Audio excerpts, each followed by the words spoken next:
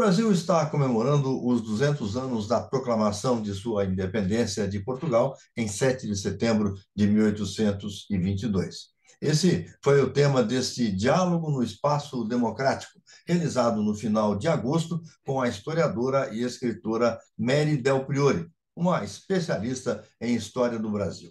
Mary Del Priori tem doutorado em História Social na Universidade de São Paulo e pós-doutorado na Escola de Altos Estudos em Ciências Sociais, na França. Em 2022, ela foi eleita para ocupar a cadeira 39 da Academia Paulista de Letras, que recebeu duas vezes o prêmio Casa Grande e Senzala. Também ganhou o prêmio Jabuti na categoria Ciências Humanas com o livro História das Mulheres do Brasil, também o livro O Príncipe Maldito levou o prêmio de melhor livro de não ficção da Associação Paulista dos Críticos de Arte. Mary Del Priori é autora de mais de 20 livros sobre a história do Brasil. Historiadora e escritora Mary Del Priori, seja muito bem-vinda ao Espaço Democrático. Encantada, Sérgio, estar aqui nessa constelação de pessoas brilhantes e que vem tentando pensar e interpretar o Brasil. Grande prazer meu. Eu queria é, começar lhe perguntando, para a gente ser diferente nesse assunto, né?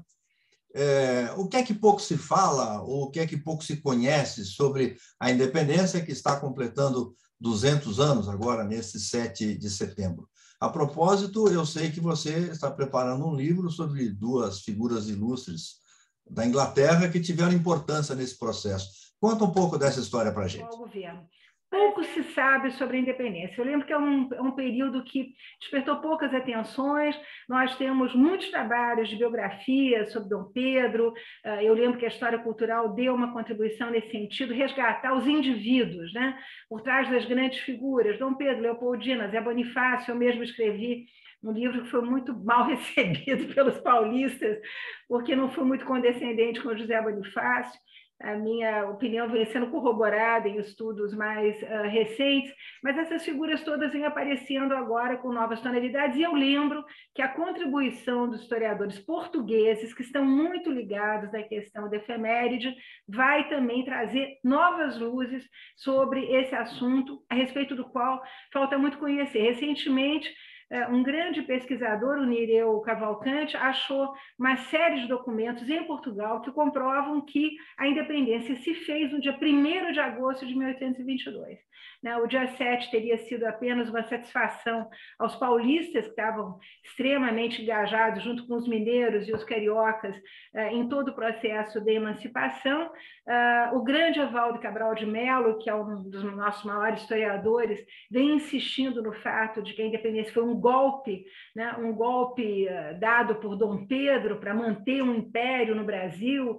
Né? Historiadores portugueses dizem pelo seu lado eh, que os portugueses queriam a saída do Brasil, né, do Reino Unido, de Portugal e Algarve, estavam cheios de serem colônia de uma colônia.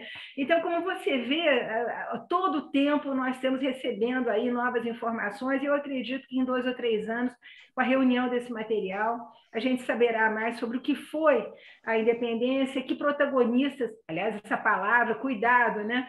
Quando a gente fala em grandes nomes, também os historiadores torcem o nariz, o protagonista hoje tem que ser anônimo, né? Tem que ser aquela figura, aquele escravo liberto, o índio, o caboclo, essas figuras têm que participar do processo também. Os patriarcas não são mais os Andrade, mas são eh, justamente essas figuras que, graças à proliferação dos pós-graduações de História por todo o Brasil, vem surgindo em todos os nossos estados. As faculdades têm dado uma contribuição muito grande em resgatar esses outros patriarcas anônimos. Perfeito, mas é, você falou de dois, dois ingleses. Quem são? Que papel tiveram? Uh, Thomas Cochrane, famoso Lord Cochrane, conhecidíssimo, fundador da Marinha do Chile. Você anda, enfim, pelo Chile, tem estátuas, ruas, avenidas com o nome dele.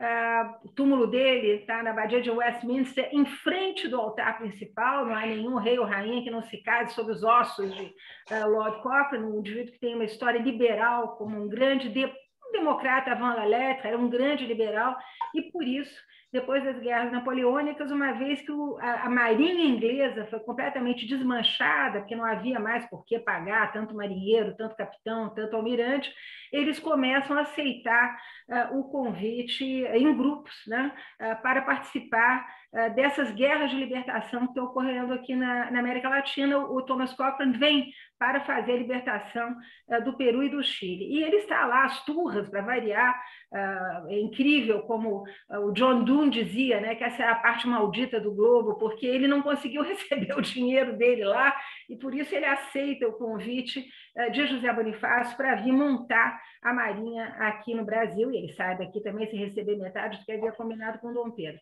Mas é esse inglês que vem, eu lembro a vocês que nessa época o Império Inglês está com radares, à, volta do mundo, e uh, eles têm aqui as chamadas South American Stations, que são estações que eles têm em Pernambuco, na Bahia, no Rio de Janeiro e também em várias cidades litorâneas da América do Sul, onde eles controlavam o comércio internacional, é muito interessante, e ao mesmo tempo armavam a rede dessa, dessa empresa geopolítica que vai se tornar o Império Inglês da, na, durante o século XIX. Ele, eh, os ingleses estão em toda parte, é, é interessantíssimo que tanto Thomas Cochrane quanto essa escritora, viu, Ivani, as mulheres brilhando aí na história da independência, a Maria Graham é uma mulher que já era consagrada uh, na Inglaterra, ela tinha trabalhado durante muito tempo com um dos maiores editores ingleses, que era o John Murray, tinha publicado alguns livros sobre a Ásia, onde ela tinha estado, ela esteve na Índia durante muito tempo com o pai, depois com o marido, e ela vem uh, para o Brasil, o marido dela é uh, um capitão de fragata, eles vêm no navio escola, ela perde o marido na viagem, e ela vai ser o que eu chamaria de uma jornalista dos acontecimentos que se desenrolam entre 21 uh, eh, e 25, que são anos charneira, né, para a definição do que foi realmente esse processo de independências com S, por favor, porque os historiadores consideram que elas começam uh, na Inconfidência Mineira e só terminam depois das revoltas regenciais. Ela está, ela vai ver o que foi o rescaldo uh, de 1817 em Pernambuco, as pessoas armadas, uma rebelião que ainda viceja na cidade, que vai ser calada com baionetas e, e, e tiros né, por um, um vigorosíssimo uh, homem do antigo regime, braço direito de Dom João VI, que acaba com essa revolução em sangue. Depois ela vai para a Bahia, onde ela vai ver a situação dos grandes comerciantes portugueses e ingleses. Os ingleses estão ali sob a tutela também da Marinha Inglesa, que estão se armando para ficar uh, ainda afeitos a, ao, ao império, à monarquia portuguesa. Ela percebe essas diferenças todas, e ela vai dizendo, né? Ah, eles estão preparando revoltas, isso aqui não vai aguentar, eles são republicanos, eles não querem mais Portugal. Ela chega no Rio de Janeiro, vai ser espectadora do dia do Fico, ela está lá, ela vai a cavalo, né, como boa inglesa, ela vai a cavalo, atual Praça da República, e ela nos traz assim, um panorama muito ingênuo do que foi o Fico, né? Ali os exércitos todos maltrapilhos, as pessoas meio que deitadas em cima de farnéis, gente vendendo comida, as crianças correndo, um aquele improviso né, que cercou uh, o Fico. Ela está também naquele momento charneira em que Dom Pedro está com Leopoldina no Teatro Dom Pedro e há o anúncio de que as tropas portuguesas vêm buscá-lo para remetê-lo de volta a Portugal. Então, como o teatro esvazia, o sangue frio dele, Leopoldina com barrigão, uma, um filho por ano, né? uma gravidez por ano, e como tudo isso é organizado, e ela está também na abertura da Constituinte. E depois ela vai se tornar governanta da, do, da Dona Maria da Glória, futura rainha de Portugal, e vai viver dentro do palácio, vai ver, ouvir, perceber, sentir o sofrimento de Leopoldina, que nesse momento uh, tem que aguentar a figura de Madame Castro, como ela era chamada, a Domitila, ela só vira marquesa depois. A Madame Castro, eu lembro que Madame era o nome dado a prostitutas na época, uma Madame, ela é a Madame Castro, e a inglesa vai se aproximar da Leopoldina, que era uma mulher culta, as duas falavam em inglês o tempo todo, e ela percebe algo também que é pouco uh, notado, aliás, ambos os ingleses, né? Uh, primeiro, uh, que a Leopoldina sofre dentro do palácio toda a hostilidade dos cortesãos portugueses que a odiavam. Há uma incompatibilidade desde o início, na decisão desse casamento, eles queriam que Dom Pedro tivesse casado com uma espanhola ou com uma prima portuguesa, então essa estrangeira, elas são tratadas como estrangeiras, ambas, muito humilhadas o tempo todo, e ao contrário da famosa ah, Leopoldina ali no momento da regência, grande momento ao lado de José Bonifácio, não. A Leopoldina realmente vai mostrar o empenho na independência do Brasil, estando ao lado de Dom Pedro no arsenal da Marinha, recebendo uh, marinheiros estrangeiros, soldados estrangeiros que vêm formar os batalhões do imperador, falando inglês, francês e alemão, que o dele era absolutamente macarrônico, Uh, se comunicando com, José Boni, com o, o, Thomas Cochrane também, porque o José Bonifácio, o inglês dele, embora diga que ele falava 11 línguas, né, os testemunhos que nós temos de viajantes é que ele mal falava o alemão e o inglês, então, ela faz essas mediações, encomenda cavalos e, sobretudo, faz o possível e o impossível para o pai dela reconhecer o Império do Brasil, Metternich, o poderoso Metternich, terrível Metternich, reconhecer o Império do Brasil, porque assim, em, em cadeia, né, ah, os outros, as, as outras monarquias europeias reconheceriam o Império do Brasil. Então, são observadores da presença inglesa no Brasil. Não há uma casa que eles entrem que não tenham tapetes ingleses, gravuras inglesas, as botas do dono da casa são inglesas, o cavalo é inglês, o chá que é servido é inglês, a porcelana que se toma o chá é inglesa. Quer dizer, tudo é inglês, a rua do inglês, a vila do inglês, o bairro do inglês, o Rio de Janeiro tinha a hora inglesa, o restaurante inglês, onde se comia arroz bife mal passado. Então é interessante porque a gente não se dá conta, Gilberto Freire foi o único a se debruçar, o pioneiro a se debruçar sobre essa questão dos ingleses no Brasil, mas eles não só têm essa South American Station, como os, os grandes comerciantes ingleses são os grandes devedores do Brasil. Né? Ah, os portugueses devem aos ingleses também. Então é interessante que quando começa aquele anti-lusitanismo que vai botar, acabar com a ida de Dom Pedro, abdicação de Dom Pedro em 1831, os grandes inimigos né, que têm que ser combatidos são, em primeiro lugar, os portugueses, cascudos, né, e, em segundo lugar, os temidos ingleses, a quem todas as grandes fortunas deviam alguma coisa. Então, essa presença inglesa no Brasil, estou falando aqui diante de grandes economistas, ela tem a ver também né, com essa dependência que o Brasil tinha uh, de tudo que era trazido para cá em termos de mercadorias, da enorme dívida que Brasil e Portugal teriam com a Inglaterra, quase 3 milhões de libras, né, e, uh, portanto, uma espécie de fantasma hamletiano aí parando sobre a nossa independência.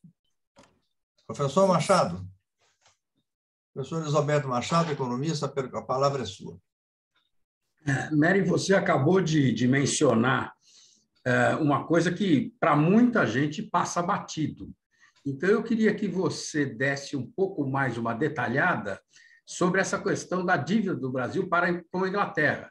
Eu, eu sei que há pessoas que, inclusive, exageram, dizendo que o Brasil, o, o Brasil é, pagou a, a, sua real independência de Portugal para a Inglaterra, porque se não tivesse o reconhecimento da Inglaterra, dificilmente aquilo teria repercussão no mundo. Mas eu queria que você explicasse um pouco mais, porque nessa época o problema da, do poderio de um país sobre o outro era muito grande e mudava-se muito rápido.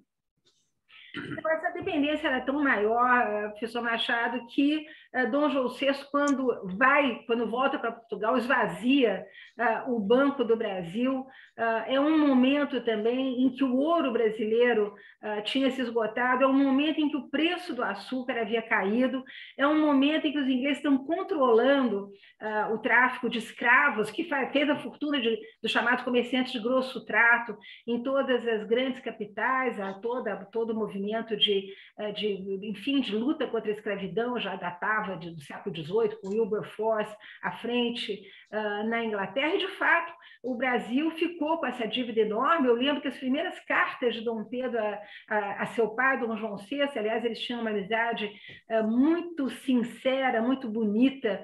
É impressionante o que ele vai sofrer depois com a perda uh, do pai, como eles se correspondiam. E mesmo aquele jogo que nós sabemos que foi estabelecido entre eles, uh, Dom Pedro vai, Dom Pedro fica, Dom Pedro vai, Dom Pedro fica. Uh, ali se revela todo um respeito também pela, pela figura paterna. Nas primeiras cartas ele diz com todas as, com todas as letras, eu estou me mudando porque eu não consigo pagar esse, esse palácio, eu estou vendendo os meus cavalos, eu não tenho dinheiro. Quer dizer, a situação do Brasil realmente era uma, eu diria, uma situação de grande penúria. Mas se você me permite avançar uma outra questão que eu esqueci de mencionar e que me parece de enorme importância, os ingleses percebem desde o início alguma coisa, até comentei isso com o Sérgio, uh, que, a meu ver, sobrevive até hoje, uh, que é o fato de nós não sermos um Brasil, né? de nós não sermos uma nação antes de sermos um império, um povo. Uh, eles só se referem ao Brasil como Brasil, eles falam sempre com S no final. Aliás, Dom João VI só se referia aos seus Brasis. E por que isso? Nós vamos ver isso nitidamente no momento da, das lutas de emancipação. O Brasil é uma colcha de retalhos com interesses muito diversos. O Maranhão chegava na Europa em um mês. Demorava três meses para chegar, qualquer barco que saísse de São Luís, para chegar no Rio de Janeiro. A Bahia tinha uma série de monopólios, dos quais não queria abrir mão também em relação uh, a Portugal. Pernambuco completamente republicano e querendo ficar independente do Brasil.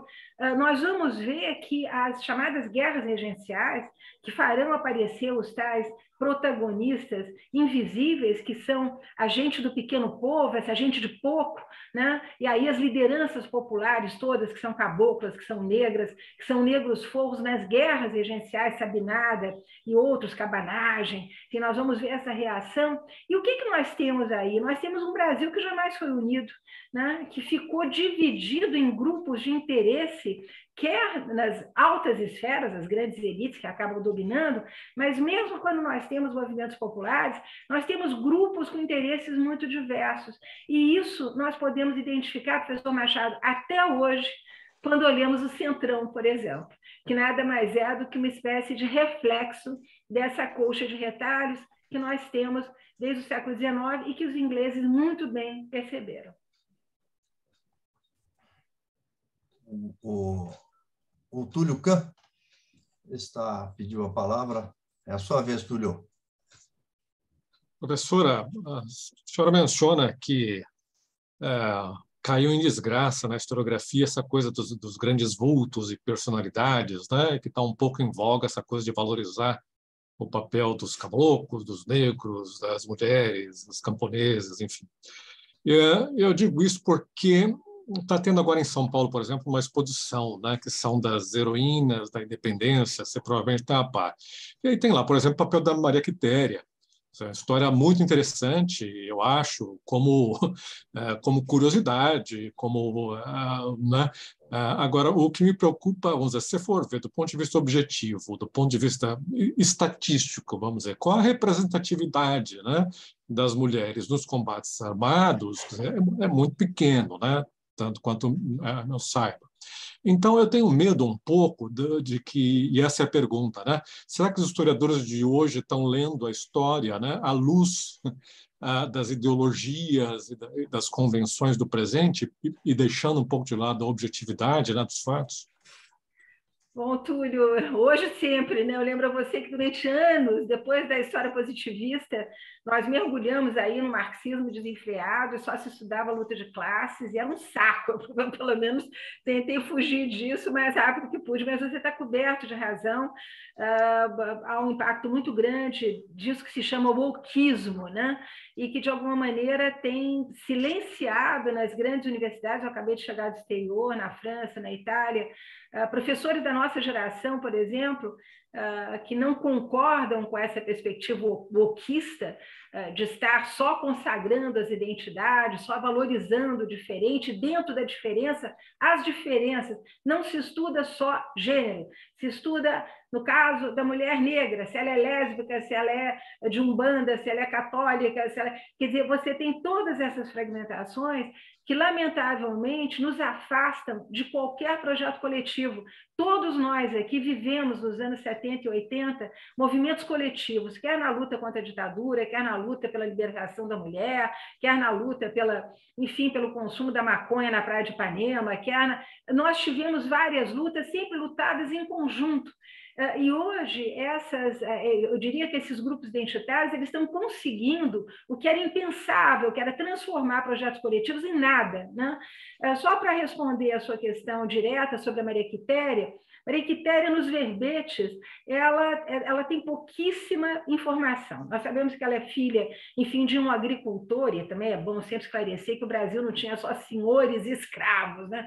Nós vamos ter uma classe média já de pardos e forros e brancos de classe média. O pai dela era um agricultor mediano, uh, que casou-se várias vezes, ele fica viúva, ela é filha do primeiro casamento. Como várias mulheres desse período, ela sabia manusear armas, e uh, ela então se inscreve lá no famoso batalhão uh, dos periquitos. Você disse muito bem, ela luta duas lutas, ela participa de duas batalhas só, né?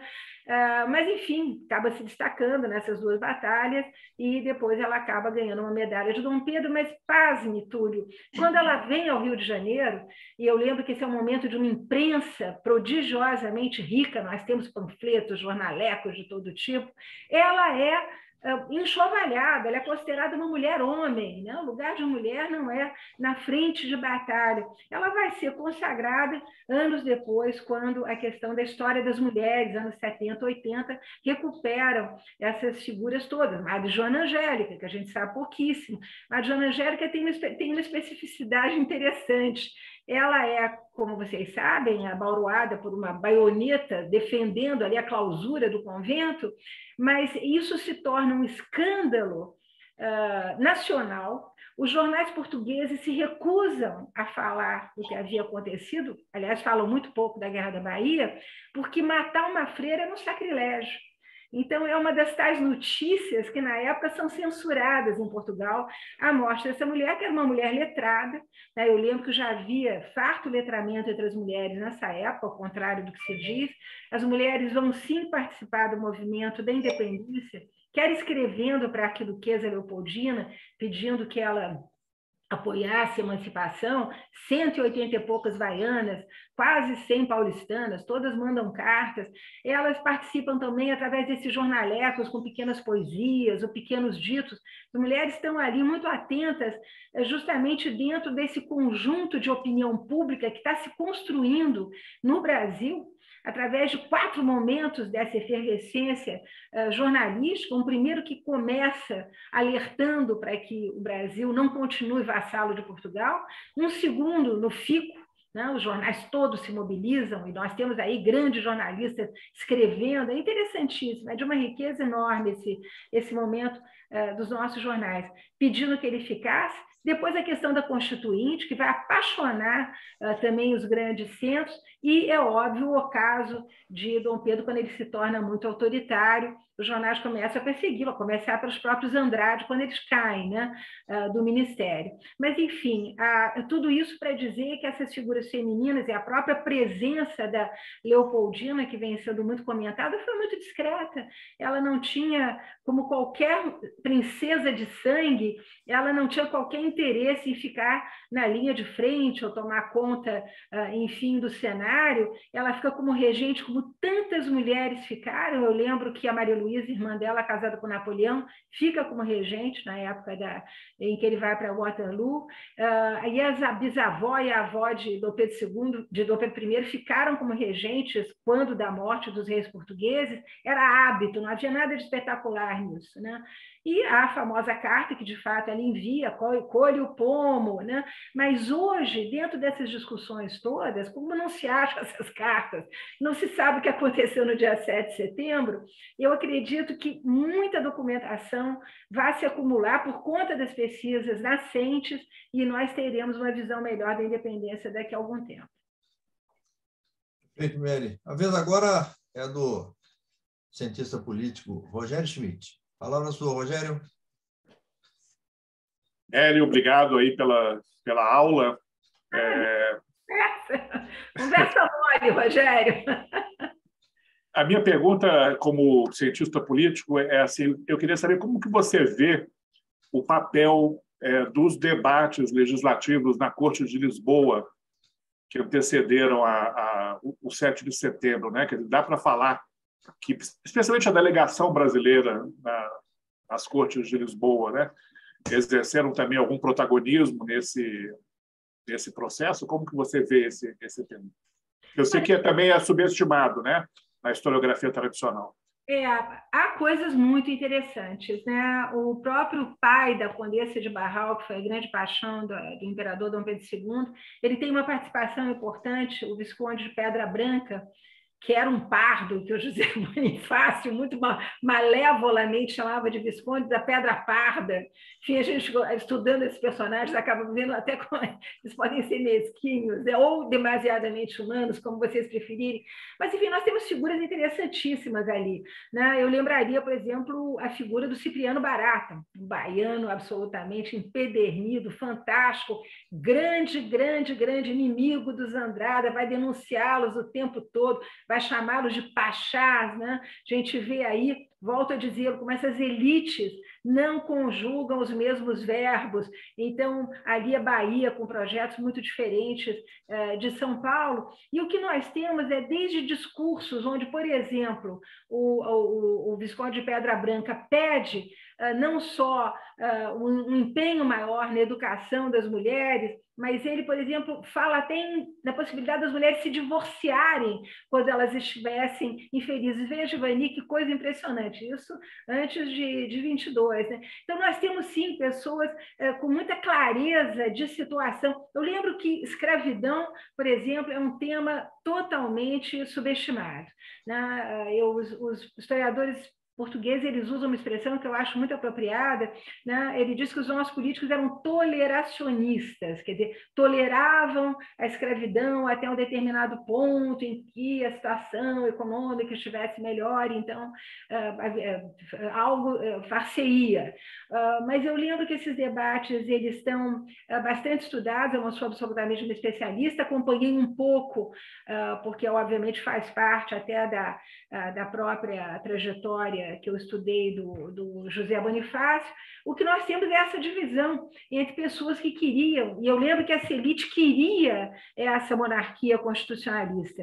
Aliás, a grande tese do José Murilo de Carvalho é, é a de que o que mantém o Brasil unido é, são essas elites que vão estudar uh, em Coimbra e que acabam adquirindo uh, de ter um, um, certo pensamento liberal, com o molho de Adam Smith, que já se lia aqui no Brasil, muita influência dos franceses, mas, ao mesmo tempo, como o próprio José Bonifácio personifica, o horror de uma revolução, o horror de uma carnificina. Nós tínhamos tido ali o Haiti acontecendo essa sublevação de pretos miseráveis contra os grandes fazendeiros. Então, o eco né, dessas rebeliões todas está muito fresco. Esses liberais têm pavor, né? fundadores do PSDB todos, né? estão todos em cima do muro, eles têm pavor eh, de assumir posições. A tese do Zé Murilo é a de que nós ficamos unidos por, por esse tipo de, de eh, elites, né, que é isso é o que havia em comum entre elas, e a tese, obviamente, de quem estuda escravidão, é de que nós ficamos unidos por conta da escravidão. Eu só lembro que nós não tivemos uma escravidão como quer agora o nosso jornalista que lançou três volumes, nós tivemos escravidões no plural. A escravidão foi totalmente distinta nessa, nesses Brasis dos quais eu falava. A escravidão da cana foi uma, do café foi outra, do ouro foi outra, do gado foi outra. Em cada região dessas, nós vimos a libertação dos escravos. O Brasil foi o país que mais libertou escravos em todas as Américas. Então, nós já temos comentava isso com o Sérgio, uma classe média de pretos e pardos, inclusive, que vai ficar à volta do imperador. Isso é pouquíssimo sabido, é das coisas, Sérgio, que não se fala, mas eu lembro que o Visconde de Montezuma, por exemplo, o Francisco Brandão, que é a coqueluche de Dom Pedro I, Dom Pedro se apaixona por ele, esse baiano que era jornalista, oferece até um título para ele, e ele responde arrogantemente, o que, é que eu vou fazer com esse título na Bahia?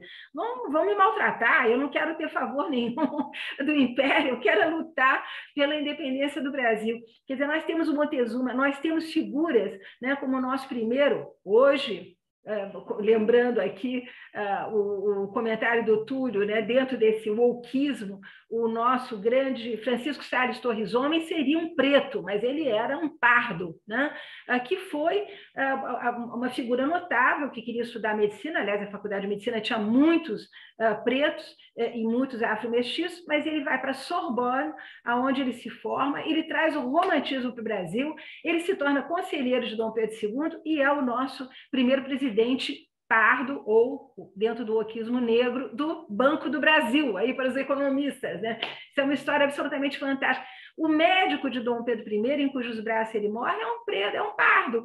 Ah, o, o ginecologista da Dona Teresa Cristina era outro pardo. Nós temos uma corte de homens Generais negros vão ser vistos dentro do Palácio de São Cristóvão, beijando as mãos ah, da agora imperatriz ah, Leopoldina, isso contado pela Maria Graham. Então, há uma, uma classe média emergente que é pouco conhecida, mas que existiu e que é muito interessante uh, da gente estudar. Uh, muitos deles, ex-participantes justamente das cortes, uh, vieram com essa experiência, mas a representação do Brasil foi pequena e é muito interessante a gente saber que já existiam membros das cortes escrevendo nos jornais que o Brasil não interessava mais. Vão embora, não queremos vocês.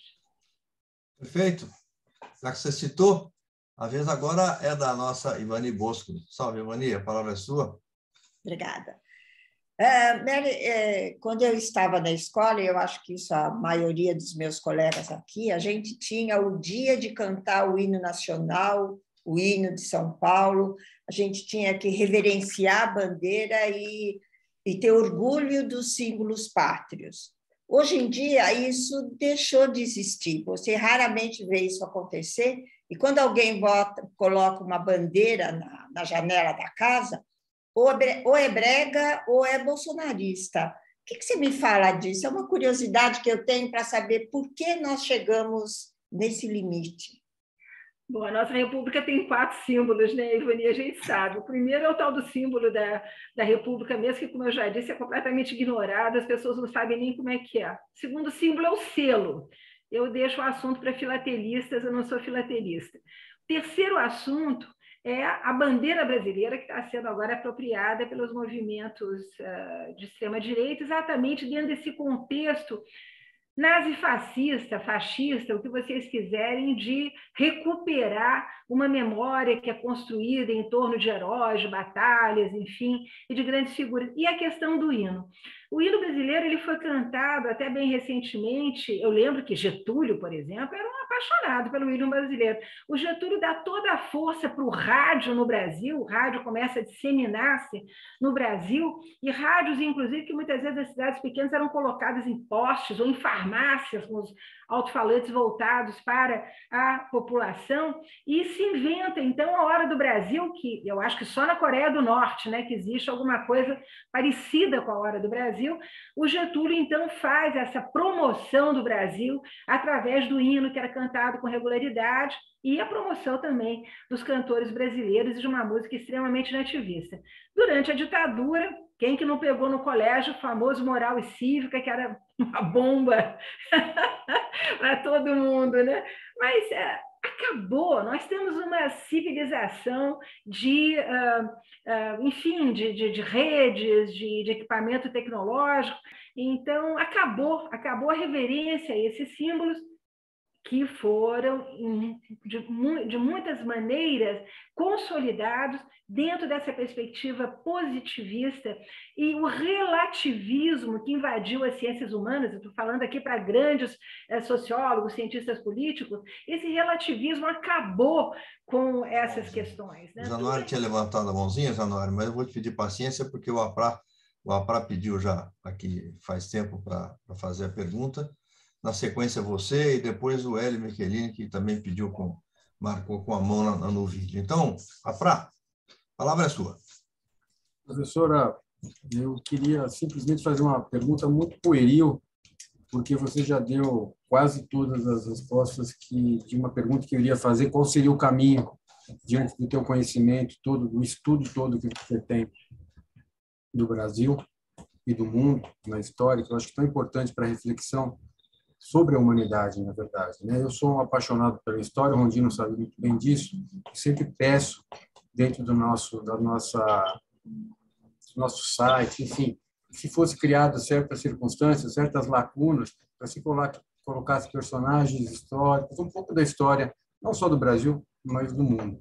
Eu queria fazer uma pergunta muito pueril, já que você respondeu algumas coisas durante as suas colocações, que seria o que te fez entrar na carreira de historiadora, como professora, uma carreira tão bem construída, que eu sou fã, eu não posso me alongar muito porque eu sou fã, e eu queria saber o que te levou a isso, para poder contribuir tanto com a nossa, com a nossa nacionalidade. Né?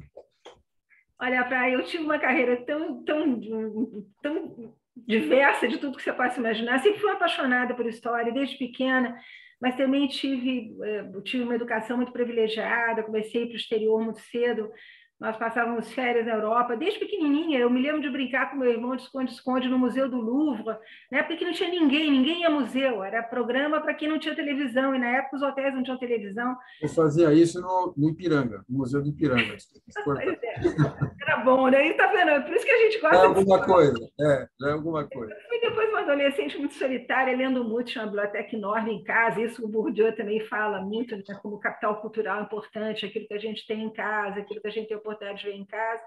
Mas, enfim, eu, eu comecei a estudar, eu era mãe de três filhos, eu fui fazer o vestibular, e aí tomei bomba na USP, porque eu não sabia química nem física, eu era da época do clássico, a gente não aprendia nada disso. Aliás, mulher não fazia conta, não sei se você lembra dessa época, né?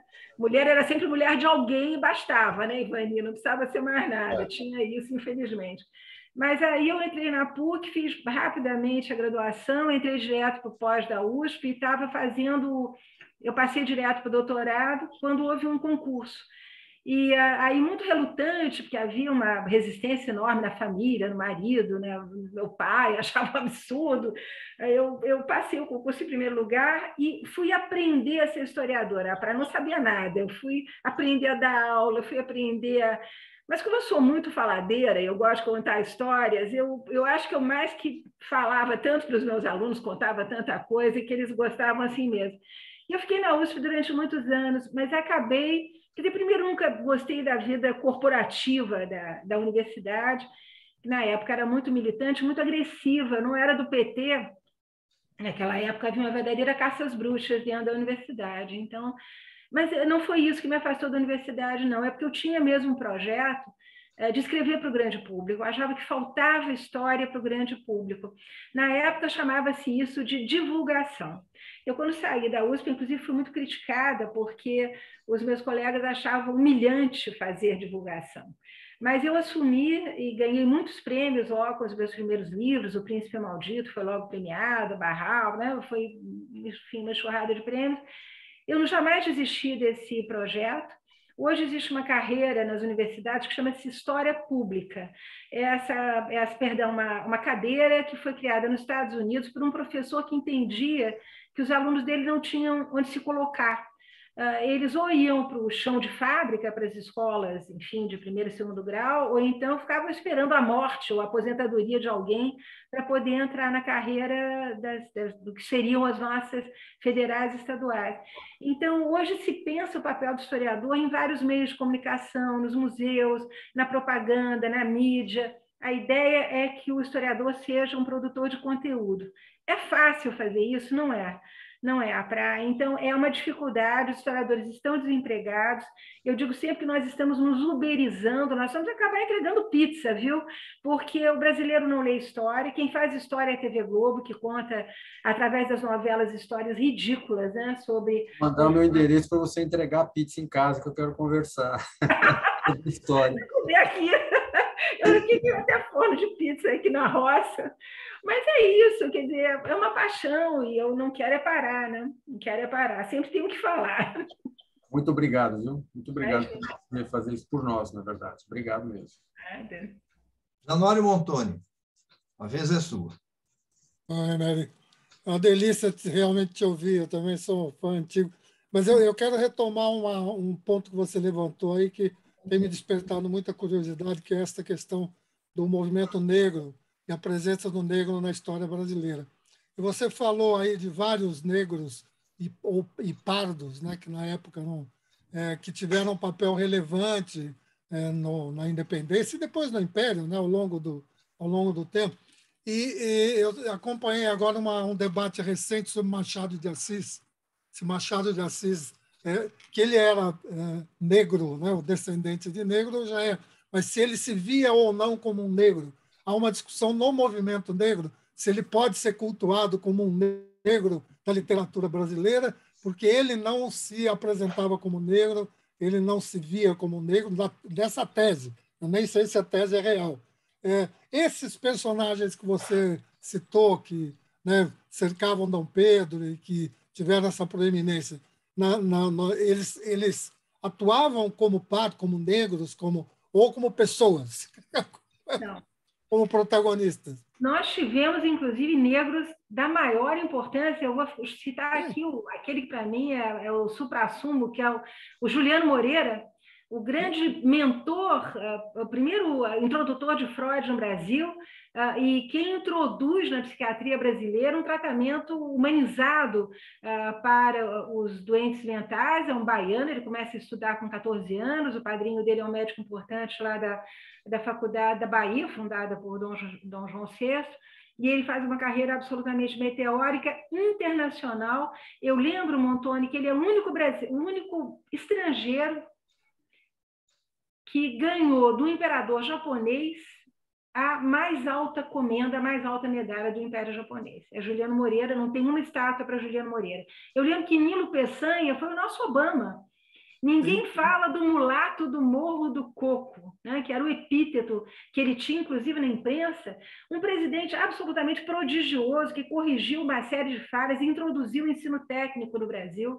Né, ele era um grande entusiasta do ensino técnico, um homem preocupado com o destino, justamente, desses egressos da escravidão, que não foram tantos, viu, uh, Januário? Todo mundo, ai, quantos escravos se arrastando pelas estradas. Não, hoje se sabe, é o que eu digo, tem que se ler história, né? Hoje se sabe que muito pouco se arrastaram pelas, pelas estradas, a maioria comprou terras, ficou nas fazendas e, gradativamente, as segundas gerações já vieram para o Rio de Janeiro, para aquela área industrial que estava se formando, Bangu, para trabalhar no Porto ou em Santos, enfim, eles vão se organizando. Agora, o que aconteceu, que o movimento negro não costuma falar, o próprio Juliano Moreira é um exemplo, ele era negro retinto, ele é casado com uma alemã, é que houve um branqueamento dessa gente, né? Ah, a gente sabe, meu Deus, quantos de nós, né? como diz o Roberto da Costa e Silva, não tem, todos os brasileiros têm no fundo da gaveta uma avó cabocla, preta, mulata, índia, e nós sabemos disso. O Jorge Caldeira mostrou que São Paulo é eminentemente uma mistura de índio com português. E nós temos isso no Brasil todo. Os viajantes que chegam no século XIX já descrevem em Januário essa classe média impressionante. Não passa desapercebido para eles os negros que têm escravos, que vestem bem suas mulheres, se as mulheres consomem, a gente vê nas gravuras ruguendas, elas todas arrumadas, as joias de negro que estão no museu, uh, no Museu de Salvador, museu, uh, agora me fugiu o nome, mas enfim, essa presença que tem que ser capturada novamente. Né? Mas o coitado Gilberto Freire ficou com essa fama de ser um apologista da mestiçagem, a mestiçagem é uma coisa ruim, hoje, aos olhos dos wokeistas. Né? Mas eu lembro que esse é um debate muito americanizado, é um debate que se exportou.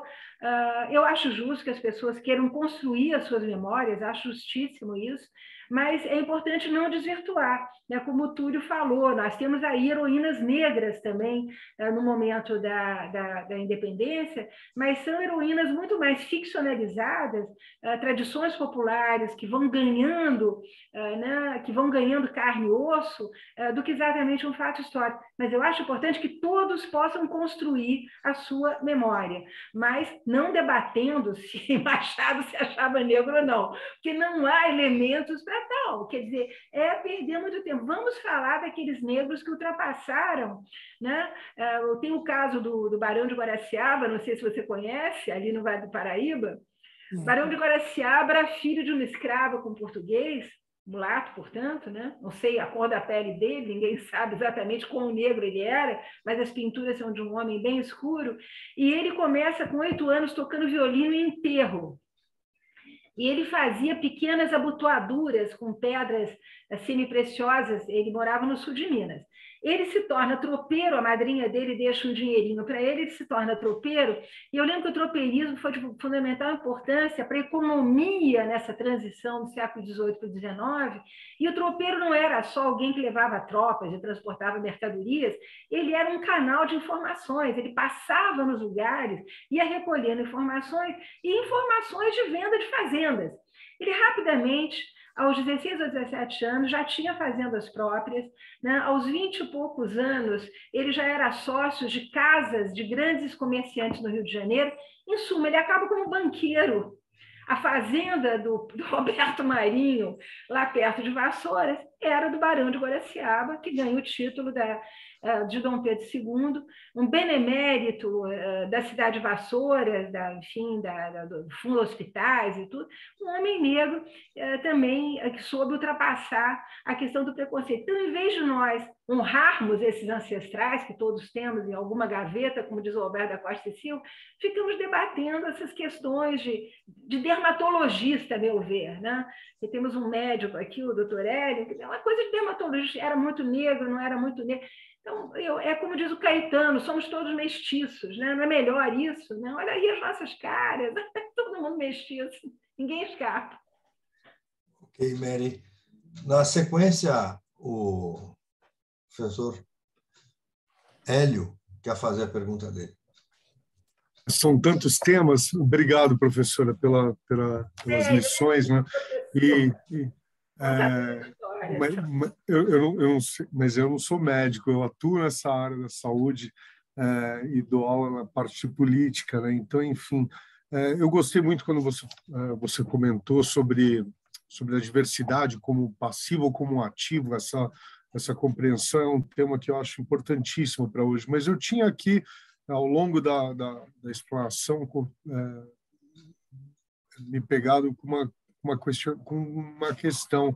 É, com frequência, nós falamos né, e repetimos que o Brasil não tem memória, que o brasileiro povo sem história, pouco dado à história. Não...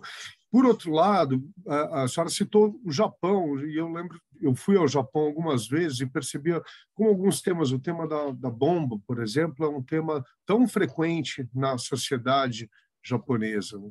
É, hoje, num momento de Brasil tão polarizado, é, o que eu percebo é um fenômeno como a ditadura, um momento militar é, extremamente presente nessa polarização.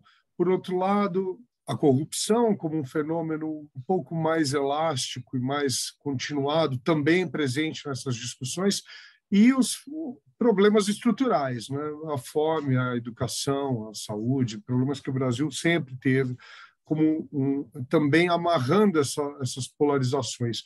Será que nós vamos ser capazes de nos divorciar desse passado e, e pensar projetos? Ou é, é, entender a história é ficar preso no passado ou aprender e usar para novas, novas ideias, novos projetos, que eu percebo que há um conflito brasileiro sem uh, memória ou com uma memória obstaculizada no momento, mas com incapacidade de compreender o passado para atuar no futuro. O que a senhora me diz a respeito? Olha, Hélio, não me chama assim, vamos, estamos aqui conversando entre amigos. Eu tenho um livro que chama-se Histórias da Gente Brasileiro, quarto volume, exatamente esse período que vai, enfim, da 1950, perdão, é, 1950 até 2000. O que eu entendi uh, fazendo um olhar mais largo, quer dizer, eu queria sair simplesmente do que fosse a, questão política. A questão política todo mundo conhece, eleição uh, de Jânio contra a corrupção de JK, uh, enfim, a, a, o golpe militar.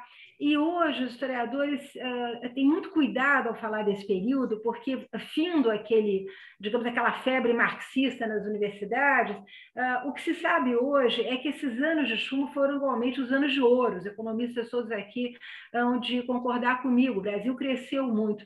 E o que aconteceu é que nós tivemos uma migração campo-cidade, tentando responder a sua questão. Uma migração campo-cidade, inclusive pela oferta de trabalhos, o número de estatais que foi criada, o número de obras que foram construídas no Brasil. Os militares podem ser chamados de tudo, mas eles tinham um projeto para o Brasil. A gente, querendo ou não, os caras tinham um projeto para esse país. Né? E uh, tudo isso criou uma classe média que nós, que nós desconhecíamos. E o meu enfoque nesse livro foi ver como é que essa classe média se alimentou, se autoalimentou de uma identidade consumista. Eu digo sempre que nós, nós não, não somos cidadãos, nós somos consumidores e que esses consumidores nascem nessa época, que os anos de chumbo são os anos das férias e do 13º salário, são os anos do Fusca, são os anos da televisão, são os anos do shopping center, são os anos do supermercado. Nada disso existia no Brasil. Então, as pessoas saem do mato, elas saem lá, largam enxada, vêm para a grande cidade, começam a ganhar, elas confundem prosperidade, né, a sua própria, com aquela uh, do país. E eu me lembro que eu trabalhei muito com. Uh, foi uma época de chegada também de vários produtos estrangeiros ao Brasil, e havia muita enquete enquete entre jovens. Você pega as enquetes dos anos 80, por exemplo, nós já estamos aí em plena abertura, já acabou a ditadura. Um jovem de 17, 18 anos, ele tinha dois sonhos. Ele queria trabalhar no mercado de capitais e comprar um Opala. Esse era o sonho. Não tinha ecologia na pauta, ecologia era 0,1 ou qualquer coisa assim.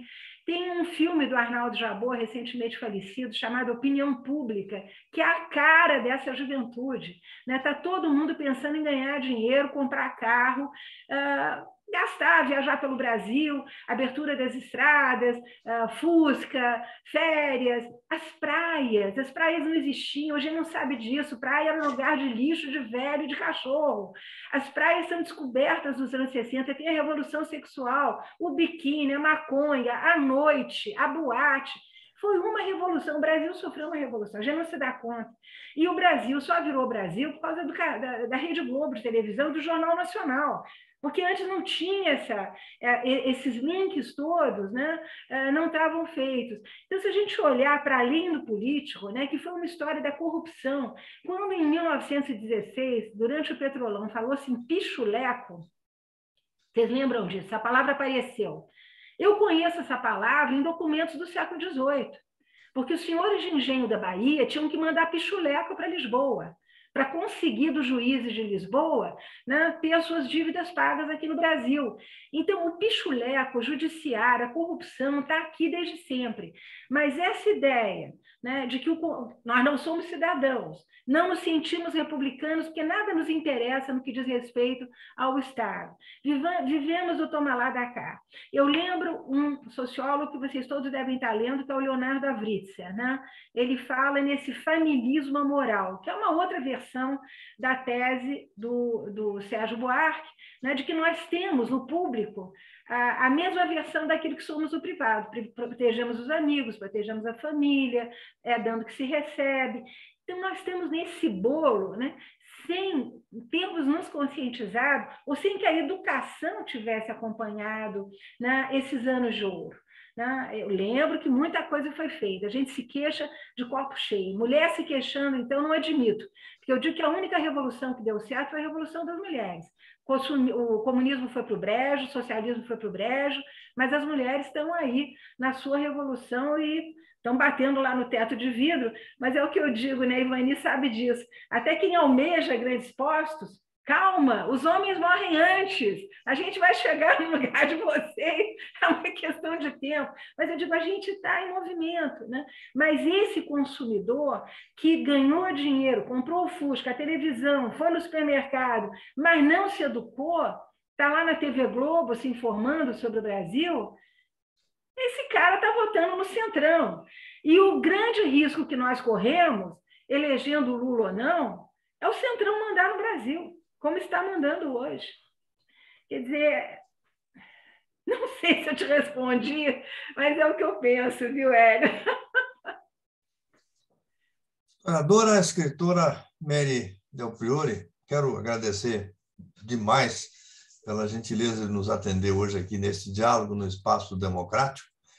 É, você foi rápida e bem rápida no atendimento, para nós foi uma alegria que nós queríamos muito tratar desse tratar do tema da, dos 200 anos da independência e estávamos meio desesperados à procura de buscar alguém com, com competência para falar do assunto. Descobrimos alguém mais do que adequado. Muito obrigado, viu, pela sua participação e você tem aí um, um tempinho para a sua palavra final.